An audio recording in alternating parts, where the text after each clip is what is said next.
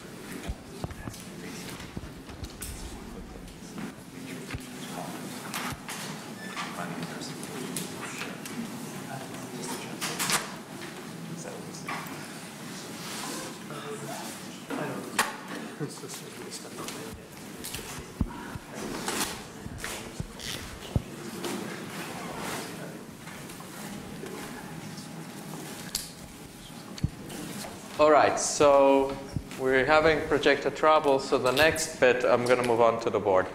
Um, so a matrix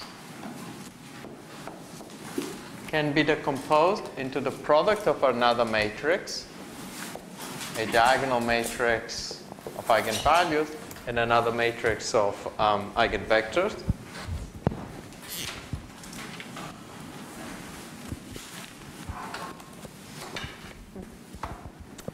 And we can rewrite this as in terms of the eigenvectors. I'm assuming the matrix is m by m, so the matrix has m eigenvectors. This big matrix um, lambda, and recall that the two bars means that it's a matrix. Um, one bar means that it's a vector. Um, so to make it a bit more clear, I'm going to write the sizes. A is m by m, so square matrix. This will also be m by m, m by m, and this guy is, of course, m by m. And no one told me about it, but I forgot the transpose. Okay? So we can write it in matrix notation. Um, and this is a quick way of writing essentially all these equations. Lambda 1 x1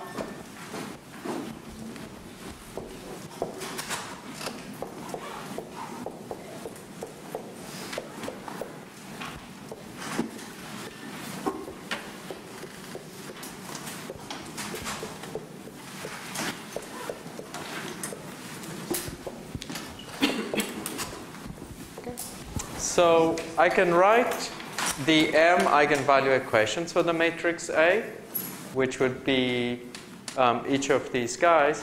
Or alternatively, I can write it in a compact notation just by writing it as a matrix, like this, um, where I'm going to have to put the eigenvalues in a diagonal matrix.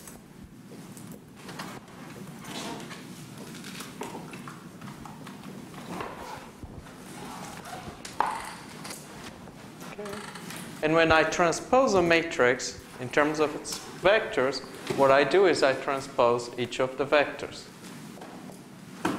Okay, that's essentially the definition of a, the transpose of a matrix. Okay. So, by using this matrix notation, I'm essentially in very little writing just by using three symbols, I'm able to say all of this. Okay, so that's the intent of introducing this notation. Um, I can also say that this is equal, if I multiply these guys, lambda 1, x1, x1 transpose, plus lambda 2, x2, x2 transpose, plus 1, 2, dot dot dot lambda m x m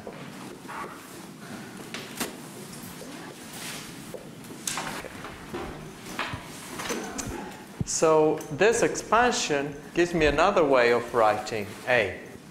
A is the outer product of an expansion of these um, eigenvectors. Each scalar, each lambda is 1 by 1. This is 1 by m and the transpose is m by 1. Okay, so this guy here is m by 1.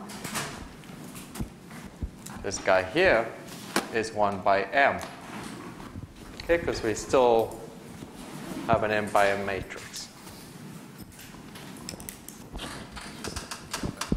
It's m by 1. Oh, thank you.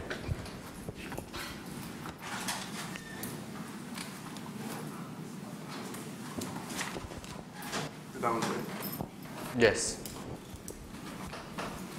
Right? So, so what I'm doing is I'm taking, in order to do matrix multiplication, a matrix can be written as in terms of outer products, like this. Okay? Something that's m by m. In order to get something that's m by m, you need something that's m by 1 times something that's 1 by m. Okay? I see a lot of blank faces. Should we do an example with numbers? Um, if you suppose that x is equal to uh, 1, 2, x transpose is equal to 1, 2, and then x times x transpose is equal to 1, 2 times 1, 2. And then when we multiply a column vector times a row vector, we would do 1 times 1 gives us 1, 1 times 2 is 2, 2 times 1, 2, 2 times 2, 4.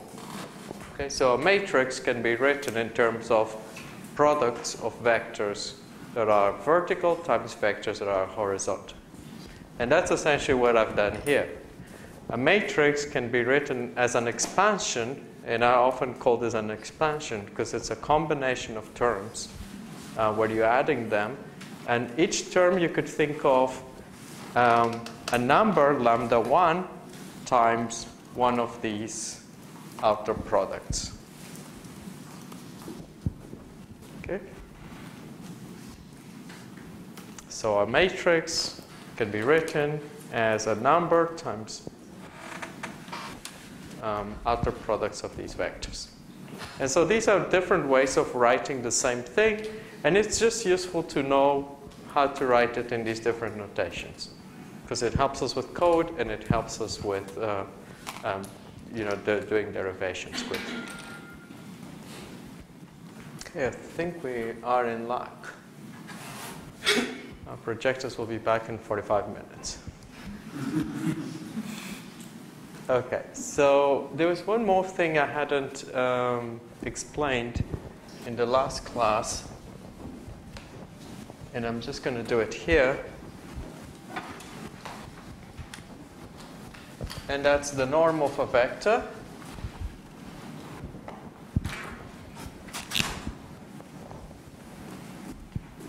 If we have a vector x, okay, and I'm going to say that x, I'm going to use this notation. x is in r m by 1. When I write this, what I mean is that x has m real numbers. Okay, so it's a column vector with m real numbers. Uh, for example, x equal 3.2, 1, 5, minus 6, 0.1, say. So in this case, let's say that x is in R4 because there are four numbers. Okay. The norm of x is essentially the length of x and is defined as our usual Euclidean distance. So the norm of x will be x1, the first component squared, plus the second component squared, third component squared, and so on until you get to the last component. Okay, so the norm of a vector is just essentially the length of a vector. Okay. Um, it can also be written, because this is essentially the dot product of a vector, it can also be written as x transpose x. Okay? And now, because it's a column vector, I'm taking something like this times something like this. That gives me the norm of a vector. Okay? And a quick example, if you have a vector x, which is equal to 1, 2, um, x transpose x is equal to 1, 2 times 1, 2.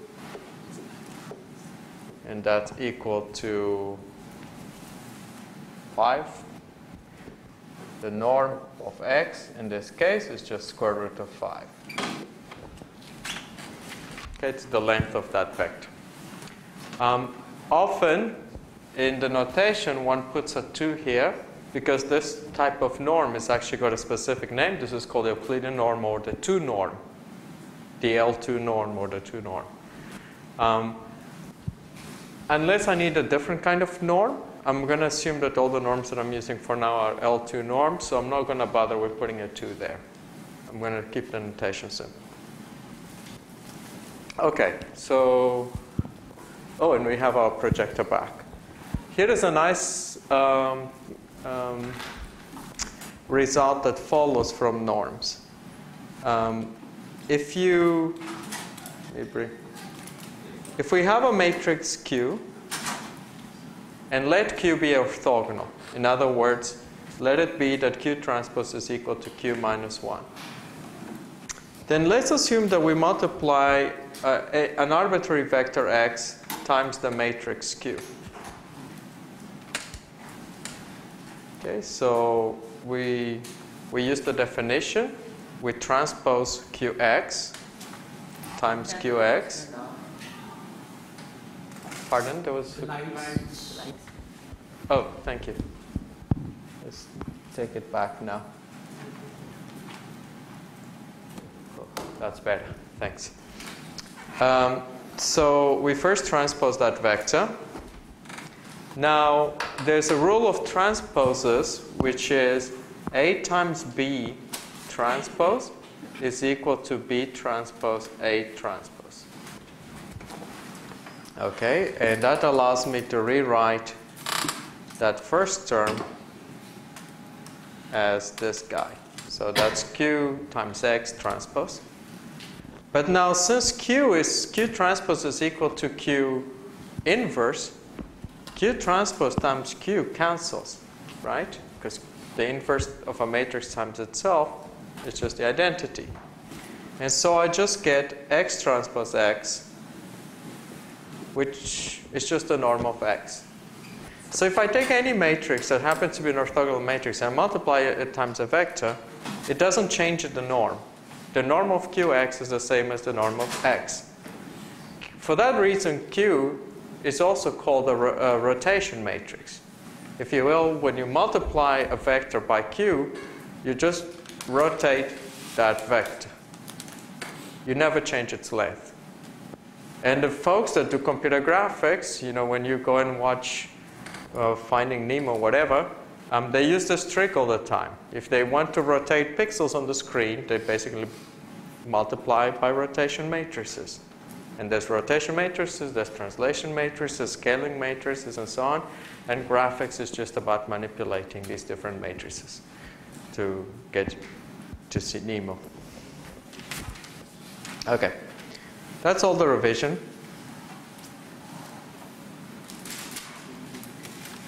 of linear algebra that we need for this course. Um, let's try to move back to do now more interesting stuff.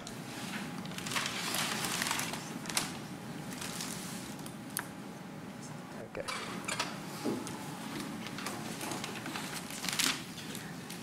All right.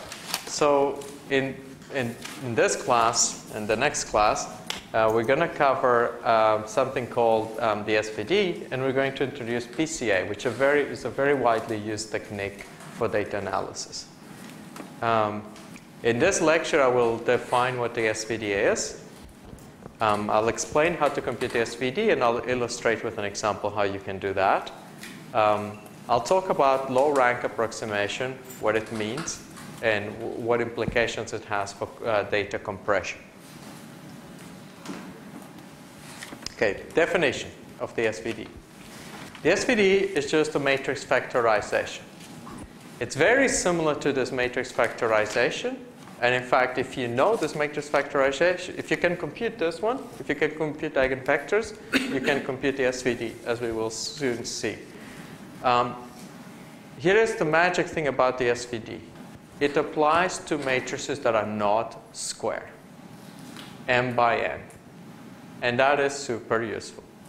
Because if you look at images, images are essentially, if you look at the grayscale image, it's just a matrix, right? Because you have m by n pixels, and the, the intensity of the light of each pixel is just a number between 0 and um, 255, so that's essentially we have a matrix. Um, but it's hardly the images that we see on the internet are square matrices most of the time they're in fact uh, you know, rectangles. And so we need tools that allow us to do eigenvalues with the non-square matrices. And the SVD is essentially that. It's a tool to do eigenvalues when the matrix is non-square. Okay, so it has the following. Um, it will contain, so suppose we care about this matrix A.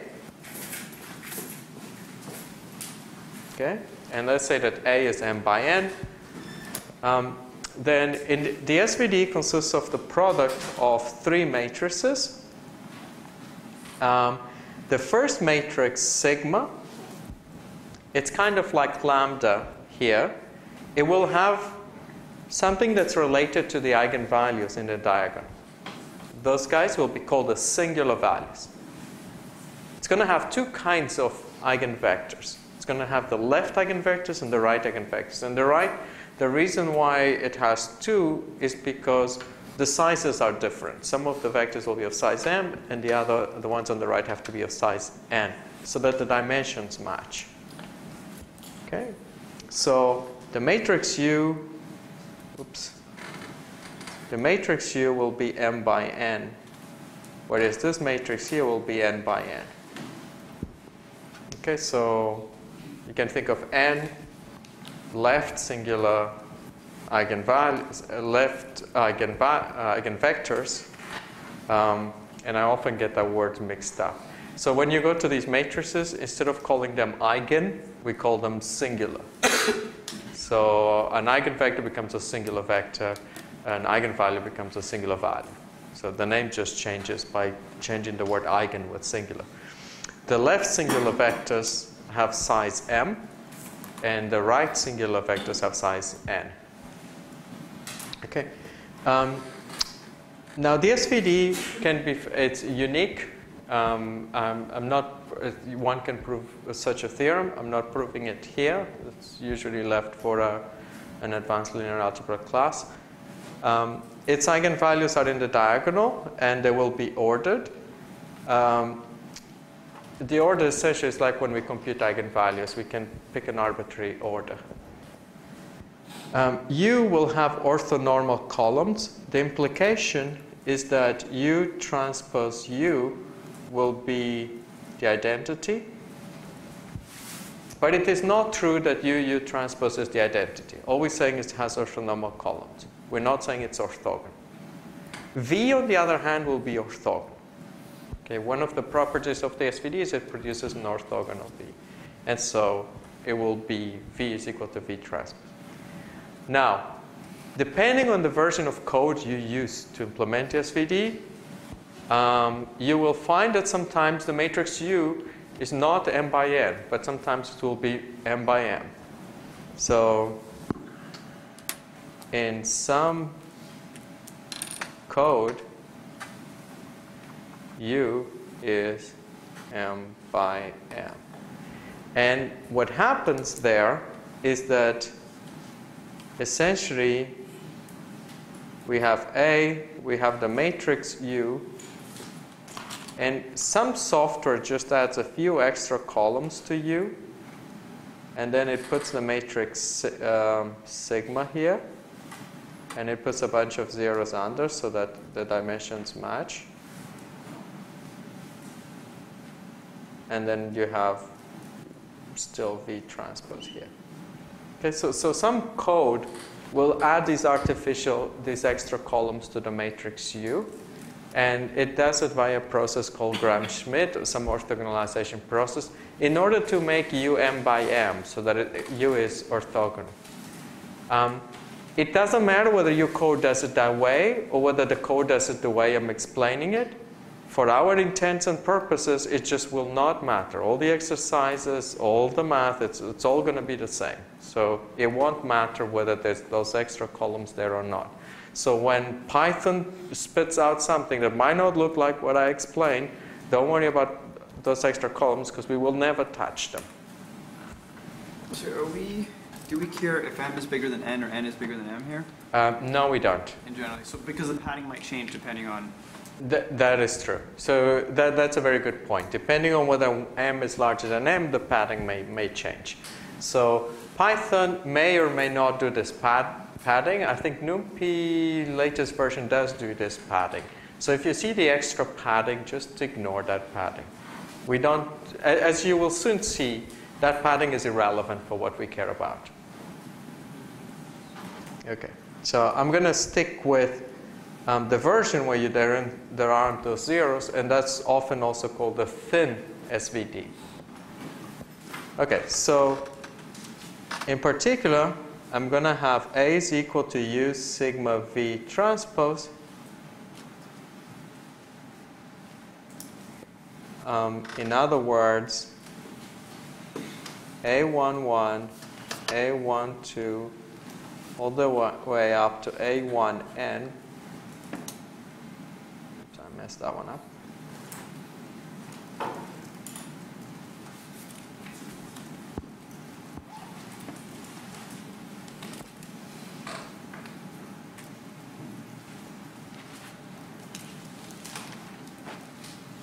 Okay, so A is m by n. So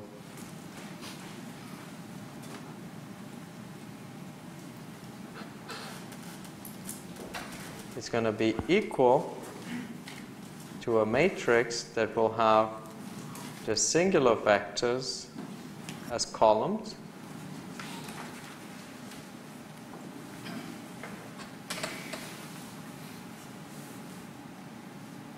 times the singular values in a diagonal and there will be n of them times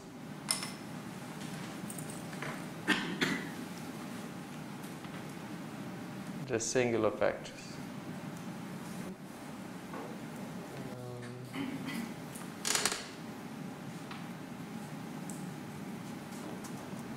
Okay.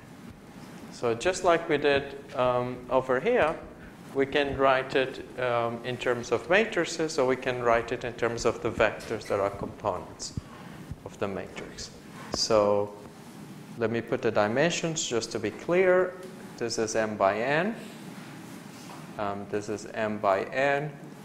And so the particular version of the SVD that I will use is called the thin SVD, where u is m by n, this is n by n, and this is n by n. And so this guy has to be m by 1. And this guy here is 1 by n. Okay? And just like we did with eigenvalues, I can write A is equal to U1 sorry, sigma 1 times u1 times v1 transpose plus sigma 2 u2 v2 transpose plus sigma 3 u3 v3 transpose all the way up to the nth term, which is sigma n un vn. one too many transposes. okay.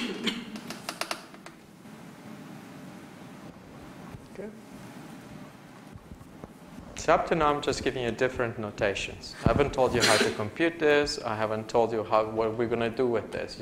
We haven't done anything fun yet. I'm just giving you the dry definition of it. If m is greater than n, we are in essence just throwing away the excess um, dimensions of the left eigenvector. Mm-hmm. We're just ignoring those dimensions for each. Yeah, that's correct. Um, okay, so here is, um, so that's our, our expansion, and there's, the thing to be aware of here is that there's these three different ways of writing it. You write in terms of its, um, in terms of an expansion of its individual components, or you, um, we write it, oops, I forgot one of these guys.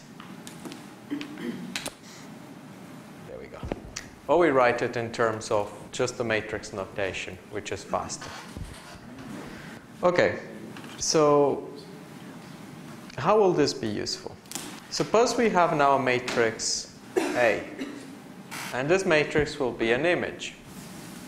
And why is an image a matrix? Because an image is just an array with numbers 3, 5, 255, 1, 5, I don't know, 20, 40, 60, 3, something like this. Okay, so that's, that would be an image with 3 by 3 pixels, and each number in, is essentially the intensity of light of the pixel. 255 means white, 0 means black, and uh, all the numbers in between give you different scales.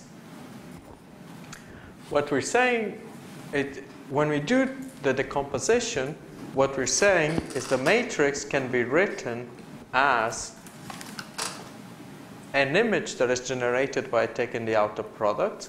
So sigma 1, u1, v1 transpose plus another image that's formed by the second component.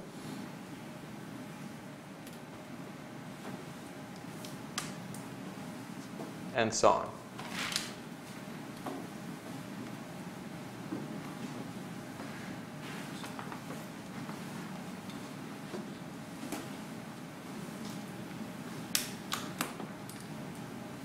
And here it this starts getting to be fun.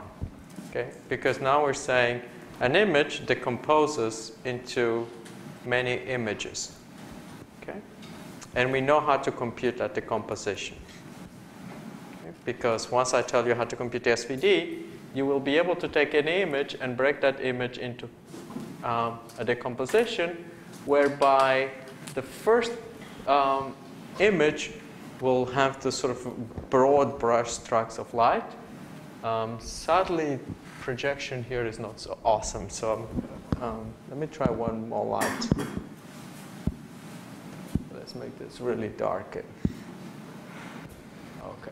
See if that's a bit better, a little bit better.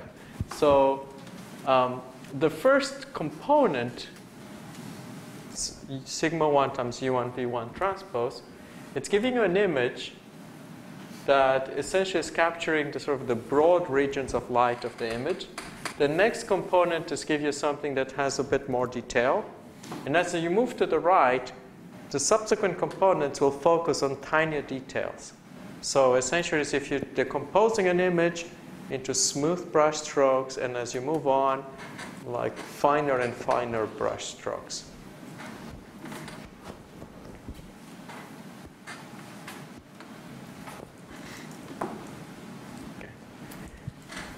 And the beautiful thing about this is this sort of is going to be the basis for the compressor. So recall that when we started in the introductory lectures, I told you that one of the things that um, our brain does, uh, we showed with that experiment with the cats, is that we have all these neurons back here um, that uh, these 20 million or so neurons, that each neuron fires for a different thing about, uh, you know, like at different ages and so on in the world. Now, what we're saying here is like imagine that if each neuron tunes to a different amount of light, but now these neurons are sort of global because they look at the light in the whole image, um, then you would have a decomposition of the image in terms of the um, in terms of a, a distributed representation. That is where you have several images where each neuron fires for different amounts of light. I'll make that a bit more clear in the next class. Um, but that's so. This will take us to a lot of really fun stuff because from here it will be very easy to get to be able to explain to come up with a model that actually gives us the same as what we observe when we take measurements from a cat. And that will come in the next class. Before that, we need to do something a bit drier, which is, but which is nonetheless instructive, which is how to compute the SVD. I just have a question with these images. Um, were they um, scaled correctly? Because it seems like Yes. I'm sure you had a lot and Yes. had more and more. You'll get to do this for your homework, next homework. Um, I'm going to show you in, in a bit the code that I used to generate those two. Okay, but before that, let's see how we compute the SVD. Because once we know how to compute the SVD for a small matrix and a small example, we'll feel a bit more comfortable with it. So I'm going to use the following property, that the singular values of A are the positive square roots of the non-zero eigenvalues of either A transpose A or AA transpose. If I know how to compute the eigenvalues, here's the claim. If I know how to compute the eigenvalues and eigenvectors of AA transpose or A transpose A, I can recover U sigma and V, or I can estimate U sigma and V. I often use the word, someone asked this, and I often use the word recover for estimating, sort of. All right, so how do we go about proving this? Okay, so the first thing is to note that these are symmetric matrices. Okay, and the reason is because if you take A transpose A and we transpose, we get A transpose A uh, transpose transpose, which is equal to A transpose A. Okay, because if you transpose and transpose a matrix again, you're back to the same matrix, right? Have some have something like this, go like this, and then go like this, you're back to where you were before. Okay, so these are symmetric matrices by definition. The same is true for the other one. And they have the following property. If we start, if we write A transpose A, and we substitute A using the definition of the SVD, so we'll use the definition and we're going to write as U sigma V transpose. And then we're going to transpose. And we multiply times A. Okay, so I'm just substituting instead of A, I'm writing the SVD of A. Which again is U sigma V transpose. And I'm not putting the double bars for now because they kind of, these are all matrices now. And I can rewrite this using the properties of transpose as V transpose transpose sigma transpose U transpose U sigma V transpose. Okay, so when you transpose, you just change the order of the matrices and you transpose them all. And that is equal to V.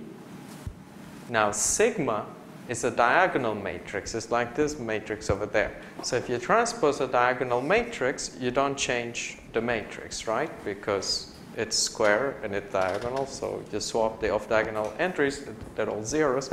So we still end up with the same matrix. And then we have U transpose U sigma V transpose. Okay? But U, we said, has by definition orthonormal columns. And so U transpose U is just the identity. So we get V, and then sigma times sigma is V sigma squared. U just has orthogonal columns, but it's not orthogonal. That's correct. Okay. Okay, the properties.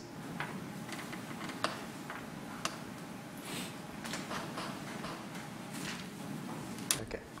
Likewise, if I do A, A transpose, Oh, I have a question. just a second. Go ahead.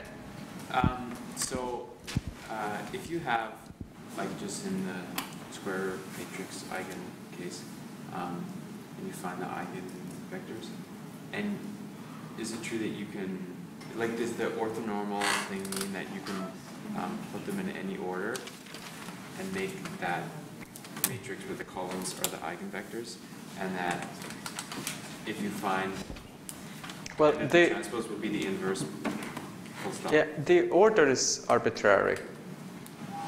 Right? Because when you compute eigenvalues, you, you're solving roots. So you could solve for the larger root first or the smaller root first. The other important thing is that you know that the, each eigenvalue has to be associated with the right mm-hmm. eigenvector. So you could also do everything we're doing and just swap the orders. But, but we're going to follow the convention and we're just going to pick the order where they're diminishing in size. Just, just for convention. No, no other reason. So I, sh- I should probably emphasize that, that uh, just by convention, I'm going to choose this.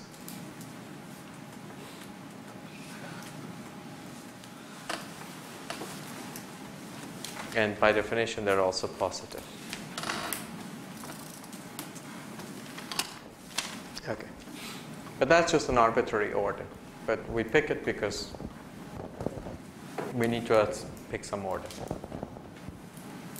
Okay. So here we do the same thing. We do U times sigma times V transpose times V um, sorry, V sigma U transpose. Okay, I'm, I've skipped a few steps quickly, and I will let you go over these steps carefully at home. Okay. Now I was fast And I use the property. So you transpose, you switch the order, you transpose everything, and then V transpose V is the identity. And so we get U sigma squared U transpose. Okay, now, now that I have that, the claim is that that's all I need. Okay, because if I'm given a matrix A that is non-square, that is m by n, and in this, in, in this case, A could be um, m by n. If I'm given a matrix that's m by n, what I do is I form A transpose A, or AA transpose, and then I just compute the eigenvalues and the eigenvectors, right? Because these expressions, these look like what we had before.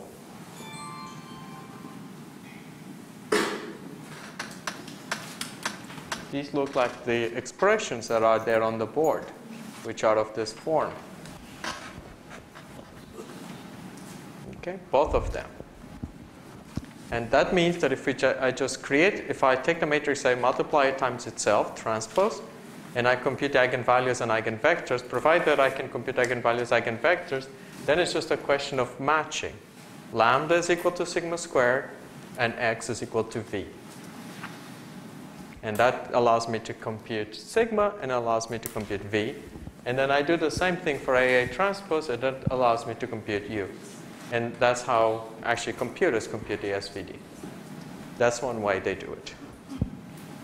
Let's do it with an example.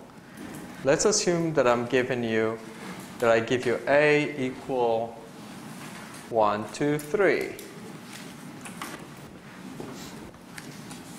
Okay, so that's my matrix. Um, in this case, M is equal to 3 and n is equal to 1. And then if I form A trans, so now I have two options.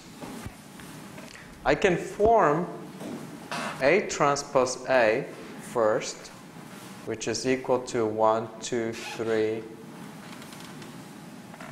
times 1, 2, 3. Or I can form A, A transpose which is equal to 1, 2, 3 times 1, 2, 3. And then compute its eigenvalues. Now, which ones do you guys think it's easier? The first one, right? Because the first one, when you multiply, when I multiply this, it's going to give me a 3 by 3 matrix. And then I'm going to have to compute the eigenvalues of a 3 by 3 matrix and that's going to take a long time. Okay? If, on the other hand, and this is like the happy guy here, because this guy is just going to be equal to 14. Now, 14 is a matrix. It's a matrix with one element. It's a one by one matrix. So I can write 14 in particular as 1 times square root of 14 squared times 1. Okay? Now, from the previous page,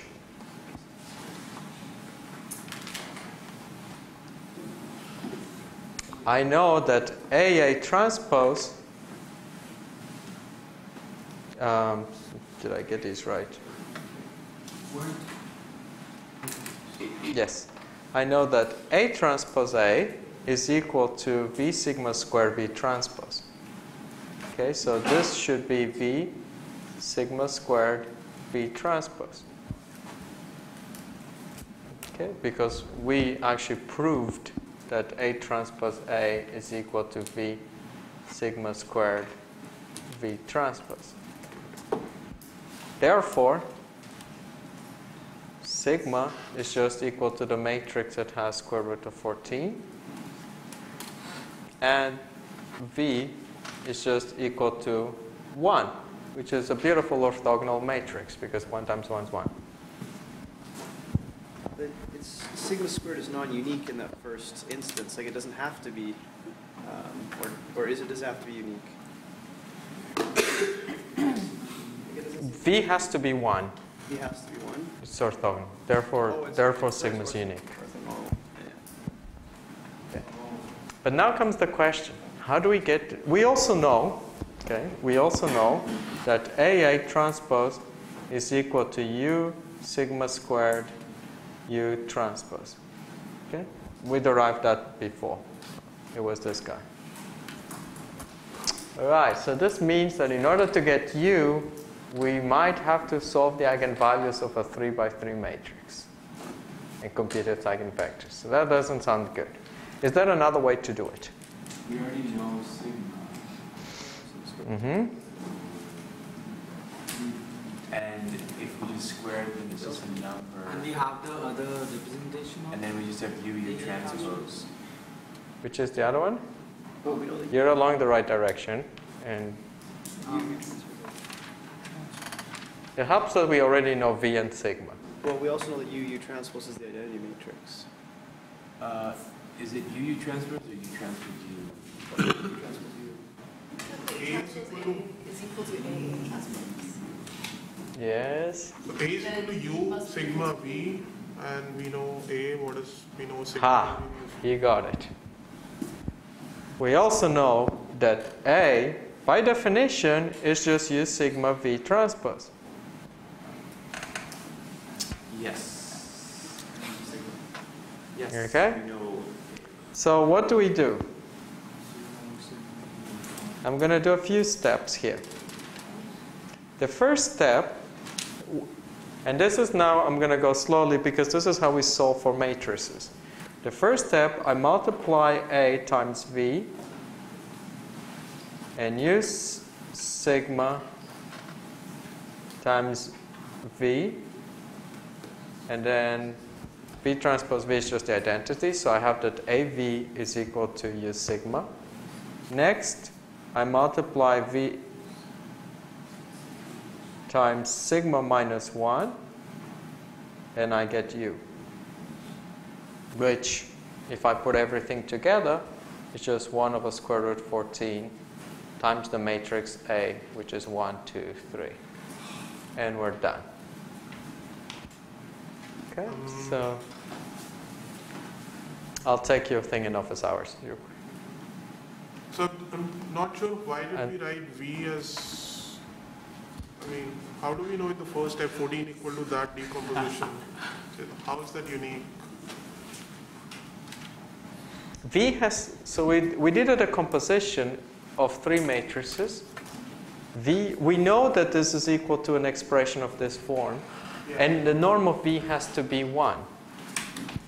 And V has to be squared. So it, it, it can, the norm of V, sorry, V is an orthogonal matrix, so V transpose V has to be the identity.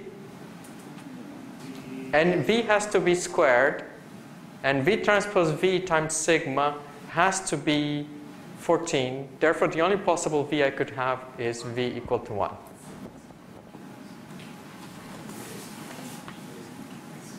Um,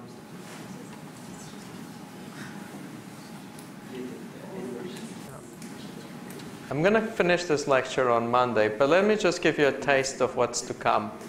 Um, when I take a matrix A, which is an image, um, and this is now giving you the rest of that story. Um, I can, I've plotted there the components, but then I'm also plotting an image now that's 1 plus 2 plus 3 plus 4. That's the sum of the first components. Okay?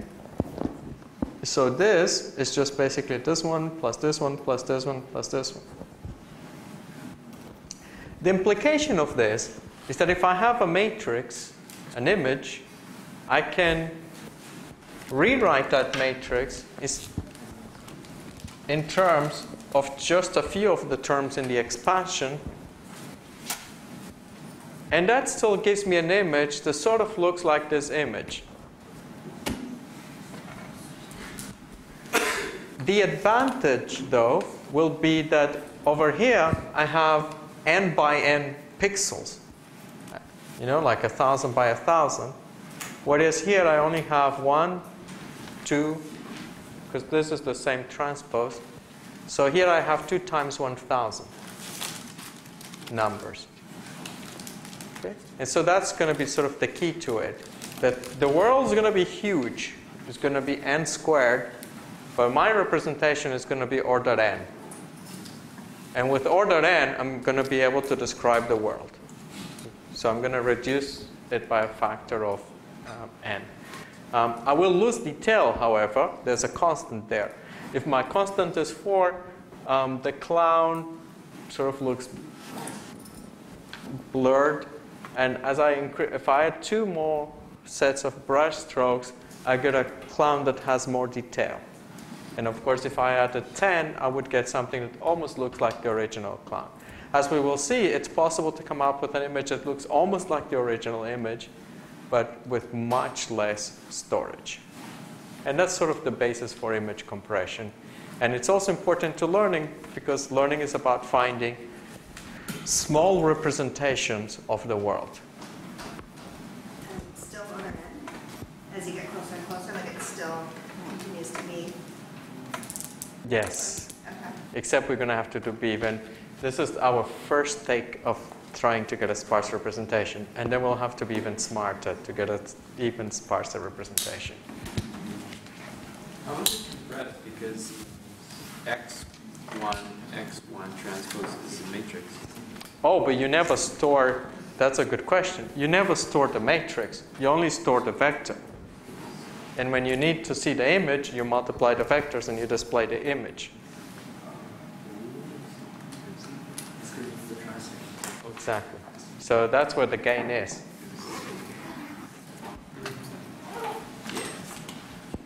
All right. Have a good Friday and weekend. Oh, um, one last one announcement. If your surname ends in A to K, that's your homework. And if it ends in